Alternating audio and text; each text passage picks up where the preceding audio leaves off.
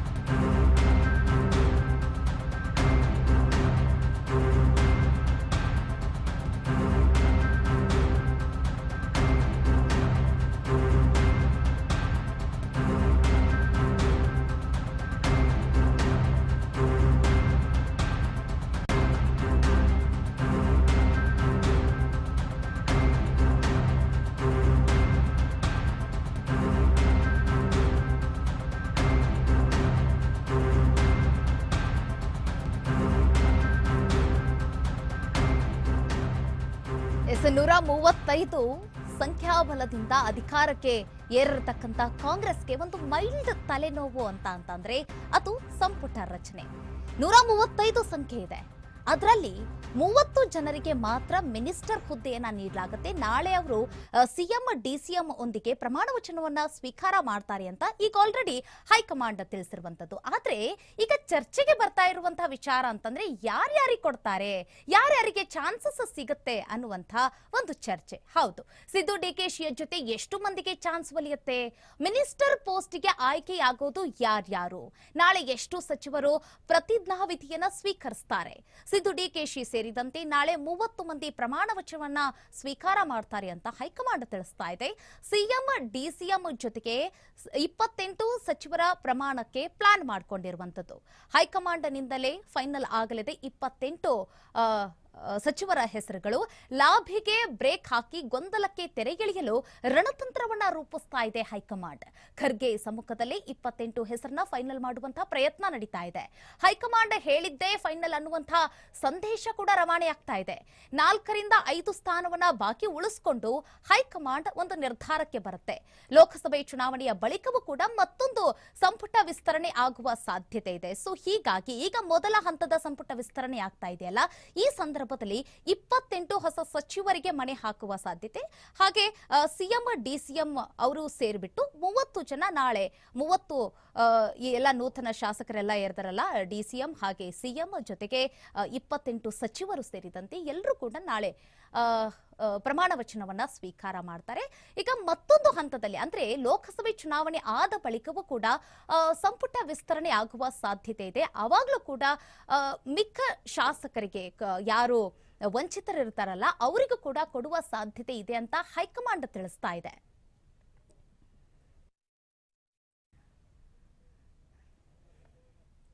S minister ಪೋಸ್ಟ್ಗೆ ಆಯ್ಕೆಯಾಗೋದು ಯಾರು? ನಾಳೆ ಎಷ್ಟು ಸಚಿವರು ಪ್ರತಿಜ್ಞಾವಿಧಿಯನ್ನ ಸ್ವೀಕರಿಸ್ತಾರೆ?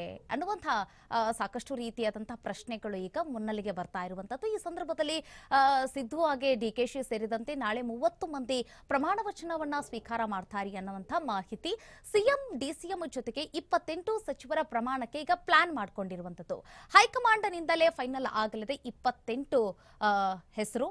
ಲಾಭಿಗೆ ಬ್ರೇಕ್ ಹಾಕಿ ಗೊಂದಲಕ್ಕೆ ತೆರೆ ಎಳೆಯಲು ತಂತ್ರವನ್ನ ರೂಪಿಸ್ತಾ ಇರುವಂತದ್ದು ಖರ್ಗೆ ಸಮ್ಮುಖದಲ್ಲಿ ಇಪ್ಪತ್ತೆಂಟು ಹೆಸರನ್ನ ಫೈನಲ್ ಮಾಡುವಂತ ಪ್ರಯತ್ನ ಈ ಕ್ಷಣಕ್ಕೂ ಕೂಡ ನಡೀತಾ ಇದೆ. ಹೈಕಮಾಂಡ್ ಹೇಳಿದ್ದೇ ಫೈನಲ್ ಅನ್ನುವಂತ ಸಂದೇಶವೂ ಕೂಡ ರವಾನೆಯಾಗ್ತಾ ಇದೆ.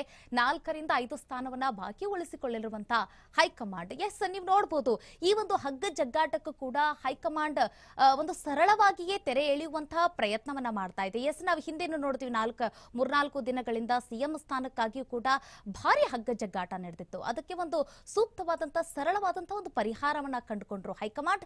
ಆದ್ರೆ ಈಗ ಸಂಪುಟ ರಚನೆಯಲ್ಲೂ ಕೂಡ ಎಲ್ಲರೂ ಕೂಡ ಹೆಚ್ಚಿನ ಜನಸಂಖ್ಯೆ ಸಚಿವ ಸ್ಥಾನಕ್ಕಾಗಿ ಲಾಭಿಯನ್ನ ನಡೆಸ್ತಾ ಇರುವಂತದ್ದು. ಈ ಸಂದರ್ಭದಲ್ಲಿ ಇದಕ್ಕೂ ಕೂಡ ಒಂದು ಸರಿಯಾದ ರೀತಿಯಲ್ಲಿ ತೆರೆ ಎಳಿಬೇಕು ಅನ್ನೋ ಒಂದು ನಿಟ್ಟಿನಲ್ಲಿ ಈಗ ಹೈಕಮಾಂಡ್ ಅಂಗಳದಲ್ಲಿ ಚರ್ಚೆ ಆಗ್ತಾ ಇದೆ. ಡಿ ಕೆ ಶಿವಕುಮಾರ್ ಅವರು ಹಾಗೆ ಸಿದ್ದರಾಮಯ್ಯನವರು, ಖರ್ಗೆ ಅವರು ಇವರ ಒಂದು ನೇತೃತ್ವದಲ್ಲಿ ಈಗ ನಡೀತಾ ಇರುವಂತದ್ದು ಚರ್ಚೆ. ಅಂದ್ರೆ ಈಗ ಆಲ್ರೆಡಿ ಸಂಭಾವ್ಯ ಪಟ್ಟಿಯನ್ನ ಡಿ ಕೆ ಶಿವಕುಮಾರ್ ಹಾಗೆ ಸಿದ್ದರಾಮಯ್ಯನವರು ತೆಗೆದುಕೊಂಡು ಹೋಗಿದ್ದಾರೆ. ತೆಗೆದುಕೊಂಡು ಹೋಗಿರುವಂತದ್ದು ಸಂಭಾವ್ಯ ಪಟ್ಟಿಯನ್ನ. ಅದರಲ್ಲಿ ಈಗ ಖರ್ಗೆ ಅವರು ಸರ್ಜರಿಯನ್ನ ಮಾಡ್ತಾರೆ. ಯಾರು ಬೇಕು, ಯಾರು ಬೇಡ, ಯಾರನ್ನ ಉಳಿಸ್ಕೋಬೇಕು ಅನ್ನುವಂತ ನಿಟ್ಟಿನಲ್ಲಿ. ಎಸ್, ನೀವು ನೋಡ್ತಾ ಇದ್ದೀರಾ, ಲಕ್ಷ್ಮಣ್ ಸವದಿ ಅವರು ಕೂಡ ಇಲ್ಲಿ ಲಾಭಿಯನ್ನ ನಡೆಸ್ತಾ ಇರುವಂತದ್ದು ಅವ್ರಿಗೂ ಕೂಡ ಸಚಿವ ಸ್ಥಾನವನ್ನ ಬೇಕು ಅನ್ನುವಂತ ನಿಟ್ಟಿನಲ್ಲಿ. ಯಾರಿಗೆಲ್ಲ ಸಿಗಬಹುದು, ಯಾರಿಗೆಲ್ಲ ಸಿಗುತ್ತೆ ಅನ್ನುವಂತ ಚಾನ್ಸಸ್ ಇರುವಂತಹ ನೂತನ ಶಾಸಕರನ್ನ ನಾವು ನೋಡ್ತಾ ಇದ್ದೀವಿ. ಎಸ್, ಶಿವಣ್ಣ ಅವರು, ಆಣೆಕಲ್ನ ಶಾಸಕರಾಗಿರ್ತಕ್ಕಂಥ ಶಿವಣ್ಣ ಅವ್ರಿಗೂ ಕೂಡ ಸಿಗುವಂತಹ ಸಾಧ್ಯತೆ. ಅಂದ್ರೆ ಸಂಭಾವ್ಯ ಪಟ್ಟಿಯಲ್ಲಿ ಇರ್ತಕ್ಕಂಥ ಹೆಸರು ಕೂಡ ಇದಾಗಿರುವಂಥದ್ದು ಜೊತೆಗೆ ಇವರಿಗೆ ಸಿಗಬಹುದು ಅನ್ನುವಂಥ ನಿಟ್ಟಿನಲ್ಲಿ ಇನ್ನು ಧಾರವಾಡದಿಂದ ಮಾಜಿ ಸಿಎಂ ಜಗದೀಶ್ ಶೆಟ್ಟರ್ ಅವರು, ಅವ್ರಿಗೂ ಕೂಡ ಯಾವ ಹುದ್ದೆಯನ್ನ ನೀಡ್ತಾರೆ ಅನ್ನುವಂಥದ್ದು ಕೂಡ ಇವಾಗ ಭಾರಿ ಚರ್ಚೆಗೆ ಇರುವಂತಹ ಒಂದು ಪ್ರಶ್ನೆ. ಜೊತೆಗೆ ಗಾಂಧಿನಗರದ ಶಾಸಕ, ಹಾಗೆ ಮಾಜಿ ಸಚಿವರು ಕೂಡ ಇವರು ದಿನೇಶ್ ಗುಂಡೂರಾವ್ ದಿನೇಶ್ ಗುಂಡೂರಾವ್ ಅವರ ಅವರ ಒಂದು ಹೆಸರು ಕೂಡ ಸಂಭಾವ್ಯ ಪಟ್ಟಿಯಲ್ಲಿದೆ. ಅವ್ರಿಗೂ ಏನಾದರೂ ಯಾವುದಾದ್ರೂ ಸ್ಥಾನವನ್ನ ನೀಡ್ತಾರಾ ಅನ್ನುವಂಥದ್ದು ಸಿದ್ದು ಆಪ್ತ ಎಂಎಲ್ಸಿ ಪ್ರಕಾಶ್ ರಾಥೋಡ್. ಇವರು ಸಿದ್ದು ಆಪ್ತರು. ಇವ್ರಿಗೂ ಕೂಡ ಸಚಿವ ಸ್ಥಾನ ಒಲಿಯುತ್ತಾ? ಸಂಭಾವ್ಯ ಪಟ್ಟಿಯಲ್ಲಿ ಇವರ ಹೆಸರು ಕೂಡ ಮುಂಚೂಣಿಯಲ್ಲಿದೆ. ಇವ್ರಿಗೇನಾದ್ರೂ ಸಿಗುತ್ತಾ ಅನ್ನೋದನ್ನ ನಾವು ನೋಡಬೇಕಾಗತ್ತೆ. ಎಸ್, ಈಗ ಬ್ಯಾಟರಾಯನಪುರ ವಿಚಾರಕ್ಕೆ ಹೋಗೋಣ. ಬ್ಯಾಟರಾಯನಪುರದ ಶಾಸಕರಾಗಿರ್ತಕ್ಕಂಥ ಕೃಷ್ಣ ಬೈರೇಗೌಡರು, ಮಾಜಿ ಸಚಿವರು ಕೂಡ ಇವರ ಹೆಸರು ಕೂಡ ಸಂಭಾವ್ಯ ಪಟ್ಟಿಯಲ್ಲಿದೆ. ಇವರಿಗೂ ಕೂಡ ಸಚಿವ ಸ್ಥಾನದ ಭಾಗ್ಯ ಒಲಿಯುತ್ತಾ ಅನ್ನೋದನ್ನ ನೋಡಬೇಕಾಗತ್ತೆ. ಇನ್ನು ಟಿ ನರಸೀಪುರ, ಮಾಜಿ ಸಚಿವರಾಗಿರ್ತಕ್ಕಂಥ ಎಚ್ ಸಿ ಮಹದೇವಪ್ಪ ಅವರ ಹೆಸರು ಕೂಡ ಮುಂಚೂಣಿಯಲ್ಲಿದೆ. ಸಂಭಾವ್ಯ ಪಟ್ಟಿಯಲ್ಲಿದೆ. ಇವ್ರಿಗೂ ಕೂಡ ಸಿಗುತ್ತಾ? ಸಚಿವ ಸ್ಥಾನದ ಭಾಗ್ಯ ಒಲಿಯುತ್ತಾ ಅನ್ನೋದನ್ನ ನಾವು ನೋಡಬೇಕಾಗತ್ತೆ. ಇನ್ನೇನು ಕೆಲವೇ ಕ್ಷಣ ಅದು ಕೂಡ ಬಹಿರಂಗ ಆಗತ್ತೆ. ಯಾರ್ಯಾರೆಲ್ಲ ಸಂಪುಟಕ್ಕೆ ಈ ಬಾರಿ ಎರಡ್ ಸಾವಿರದ ಇಪ್ಪತ್ತ್ ಮೂರರ ಈ ಒಂದು ಇದರಲ್ಲಿ ಸಿಎಂ ಸಿದ್ದರಾಮಯ್ಯನವರ ಒಂದು ನೇತೃತ್ವದಲ್ಲಿ, ಅವರ ಆಡಳಿತದಲ್ಲಿ, ಅವರ ಸಂಪುಟದಲ್ಲಿ ಯಾರೆಲ್ಲ ಸೇರ್ಪಡೆ ಆಗ್ತಾರೆ ಅನ್ನೋದನ್ನ ಇನ್ನೇನು ಕೆಲವೇ ಕ್ಷಣದಲ್ಲಿ ಕೂಡ ಹೈಕಮಾಂಡ್ನಿಂದ ಬಹಿರಂಗ ಆಗಲಿದೆ.